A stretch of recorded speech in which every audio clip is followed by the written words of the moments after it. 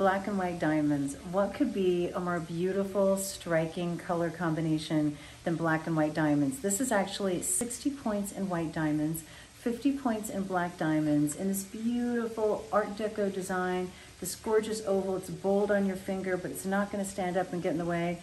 How beautiful is that?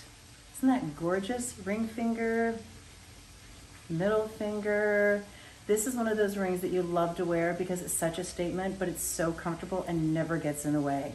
Really low profile, really gorgeous design. Black and white diamonds and a deco influence. Trust me when I tell you, you can't go wrong.